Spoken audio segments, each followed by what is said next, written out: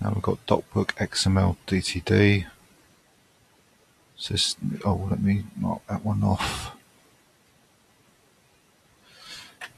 So this needs libxml2 2.90.10. I'm just going to double check that, but I'm sure that's the one we just installed a little while ago. And it is. And SGML common we need.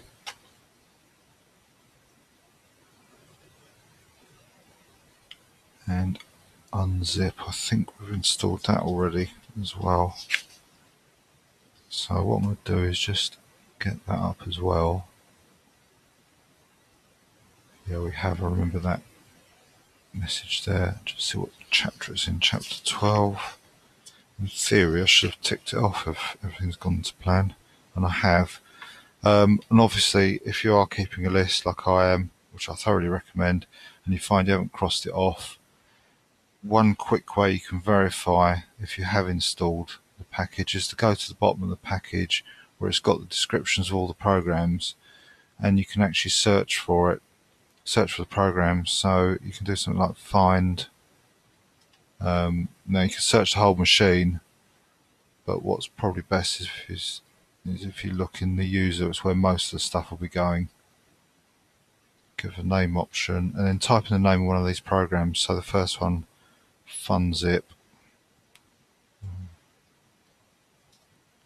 And there it's found it. So that's a good indication that we have installed this package if you're still not convinced, then just install the package again. That's probably the best way to go about this. But as you can see, it's already installed. I had some doubts, but I found one of the programs that it installs, so I can just get rid of that. And the only one I need to do is this.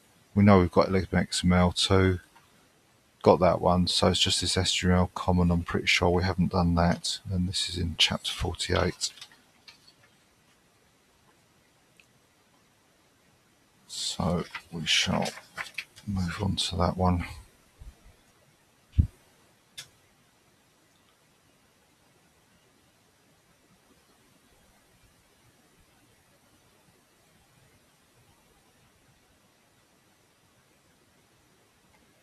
So it's chapter 48, just above here. There it is. So let's fetch the package. Download it, it's nice and quick, must be tiny. Yeah, it's only 75 kilobytes. Save it. And there's a required patch.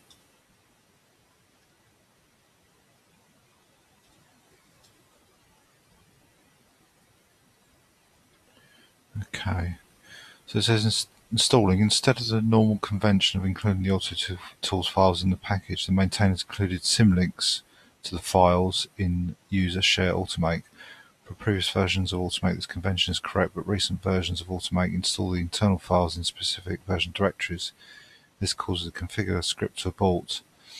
To fix this error, the auto tools is regenerated since the included makefile.am sorry, since the included makefile.am yeah, makefile.am file uses syntax not supported by any by current versions of Automake, a patch is required to fix the syntax.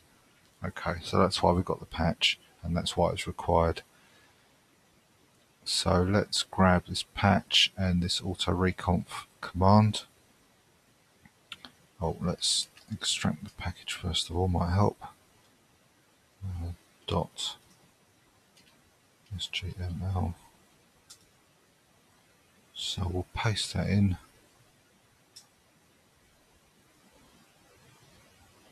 and that's done. Then to install it let's just check what other commands we've got. There aren't any. No there's no other information. So we can just copy this configure and make command. And build it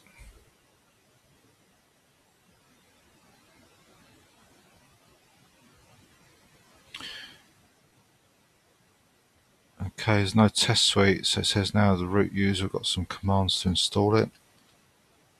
Hmm.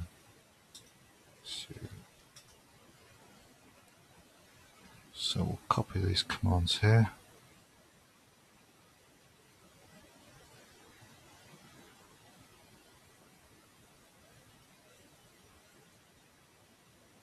Oh, so we need to copy all of that, so I'll copy past that line because I want the end of line to carry on.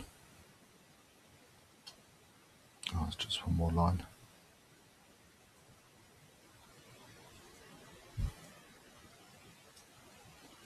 That's done. There's an update hint. Remove the above catalog items prior to upgrading as the root user. So we're not upgrading, this is a fresh install. And that's that one. That's a nice simple one. Um, let's tidy up.